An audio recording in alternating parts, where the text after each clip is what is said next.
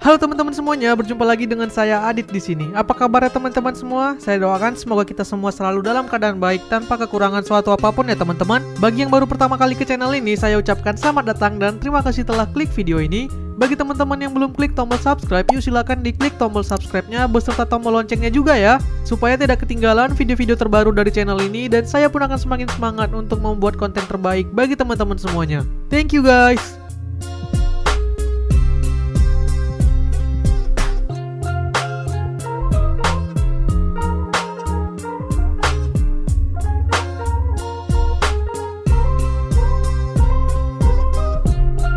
Pada awal bulan Oktober kemarin, Xiaomi akhirnya merilis penerus Redmi 13C untuk tahun ini ke pasar Indonesia. Siapa lagi kalau bukan Redmi 14C. Ada dua varian yang ditawarkan, yang pertama 6 per 128 GB dengan harga Rp1.499.000 dan yang kedua 8 per 256 GB dengan harga Rp1.799.000. Untuk seri pendahulunya si Redmi 13C itu juga udah pernah kita bahas ya dan ternyata cukup ramai. Kalau yang penasaran linknya ada di atas ya.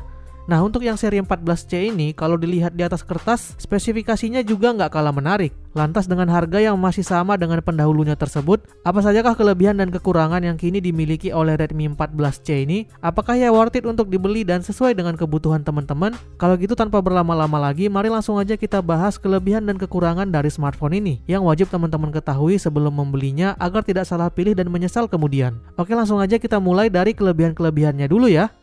Kelebihan yang pertama, layar luas dengan refresh rate 120Hz.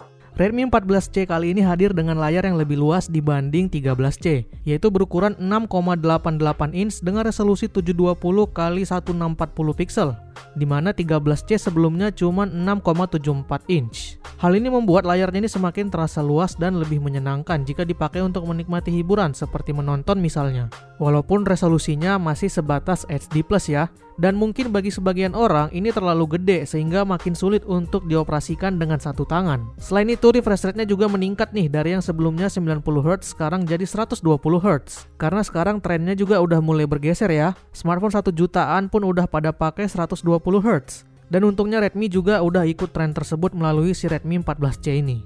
Refresh rate yang tinggi ini akan memberikan pengalaman transisi grafik yang lebih smooth. Lebih nyaman dipakai scrolling-scrolling karena terasa lebih fluid ya.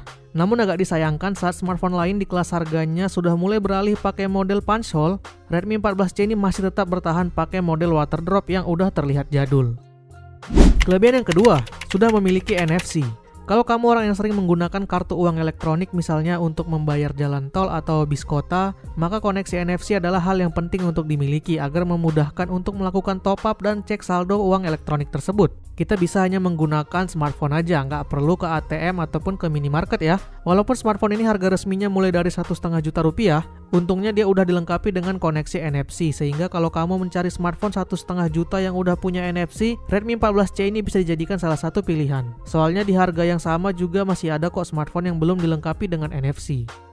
Kelebihan yang ketiga, kapasitas memori cukup lega. Seperti yang sudah kita mention di awal, smartphone ini hadir dalam dua varian dan varian termurahnya yang cuma satu setengah juta rupiah untungnya sudah dilengkapi dengan RAM 6 GB dan internal storage 128 GB yang mana itu masih termasuk lega untuk saat ini. Kalau dirasa masih kurang lega, tinggal beli aja varian termahalnya dan kita udah dapat RAM 8 GB dengan internal 256 GB yang udah luas banget pastinya. Selain itu tersedia juga dedicated slot untuk microSD kalau misalkan mau nambah external storage ya. So kalau teman-teman butuh RAM dan storage yang lega tapi dengan budget 1 jutaan aja, smartphone ini cocok untuk dipilih.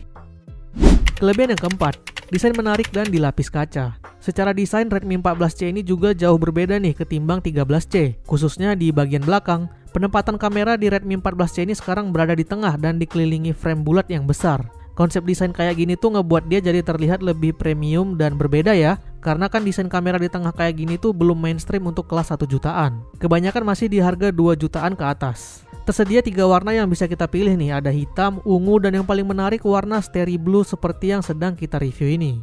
Warnanya tuh two tone ya, perpaduan antara warna biru dengan silver. Dan ada motif seperti garis-garis cahaya dengan pola melingkar mengikuti lingkaran frame kameranya. Jadi kelihatan seperti gugus bintang yang bergerak di angkasa gitu. Cakep lah. Walaupun ini sebenarnya kembali lagi ke selera masing-masing. Selain itu, bodi belakangnya ini juga udah dilapis material kaca yang semakin menambah kesan mewahnya, tapi sayangnya akan cepat kotor bila tersentuh tangan, karena finishing seperti ini tuh tidak anti fingerprint. Kelebihan yang kelima, kapasitas baterai meningkat dengan fast charging 18 watt. Ukuran layar yang semakin besar ternyata juga diikuti dengan kapasitas baterai yang membesar. Kalau sebelumnya kan di 13C itu cuma dapat baterai 5000 mAh, tapi di 14C ini ditingkatkan menjadi 5160 mAh atau naik 160 mAh ya. Nggak terlalu banyak sih emang, cuman sekitar 3,2%.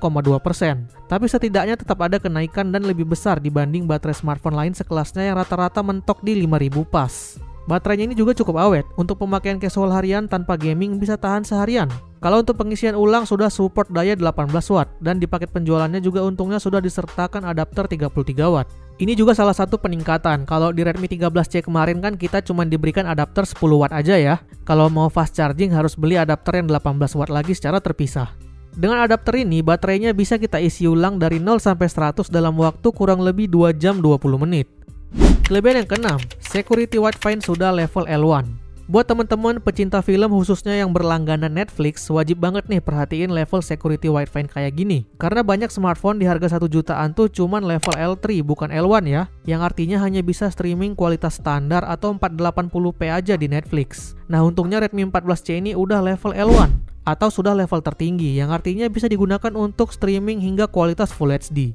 So dengan smartphone ini teman-teman udah bisa streaming film atau series favorit dengan kualitas dan resolusi yang lebih baik. Apalagi kalau kita emang langganannya yang paket HD ya, jadinya nggak sia-sia.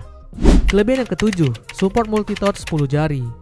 Kelebihan yang ketujuh dan menjadi kelebihan terakhir yang bisa saya temukan di smartphone ini adalah layarnya yang sudah memiliki kemampuan untuk mendeteksi 10 sentuhan jari sekaligus. Biasanya di smartphone 1 jutaan yang saya temui itu layarnya hanya support 5 jari aja. Tapi di Redmi 14C ini tetap dapat layar yang udah support multi-touch hingga 10 jari. Jadi kalau teman-teman butuh smartphone yang layarnya bisa mengenali lebih dari 5 sentuhan sekaligus, maka Redmi 14C ini bisa mengakomodirnya.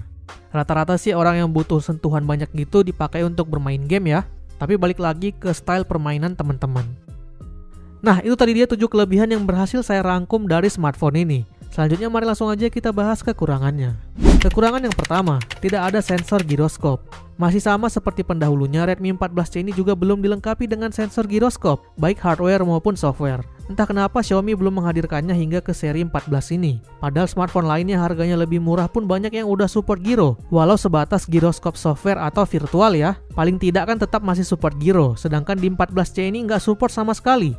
Jadi aplikasi yang punya fitur dengan sensor ini nggak bisa diaktifkan, seperti untuk bermain game dengan giro controller ataupun menonton video 360 dengan VR. Kekurangan yang kedua, lensa makro dihilangkan. Untuk kebutuhan fotografi dan videografi, Redmi 14C ini dibekali dengan dual kamera belakang dengan konfigurasi lensa utama 50 megapiksel dan lensa kedua berupa auxiliary lens. Lalu untuk kamera depan resolusinya 13 megapiksel. Secara hasil foto sih masih cukup oke okay ya untuk kelasnya, tapi sayangnya jenis lensanya ini malah di downgrade dari versi sebelumnya. Yang mana si Redmi 13C saat itu selain punya dua lensa yang sama dengan 14C ini, juga ada satu lensa lagi yaitu lensa makro. Sehingga 13C saat itu punya total 3 lensa belakang. Alhasil di Redmi 14C ini kita nggak akan bisa lagi menemukan mode makro karena emang lensanya tidak tersedia. Buat yang belum tahu, lensa makro itu fungsinya untuk memfoto objek-objek kecil dengan jarak yang sangat dekat agar tetap terlihat jelas dan tidak blur ya. Cukup disayangkan kenapa Xiaomi malah mengurangi kameranya. Padahal kalau kita lihat desain kamera belakangnya ini kayak punya tiga lensa ya. Dan ternyata yang bagian bulatan di paling bawah ini tuh kosong. Cuman ada tulisan 50 megapiksel aja. Kekurangan yang ketiga, memori internal masih berjenis eMMC. Ukuran storage Redmi 14C ini memang termasuk lega karena varian terkecilnya udah 128GB dan varian terbesarnya udah 256GB.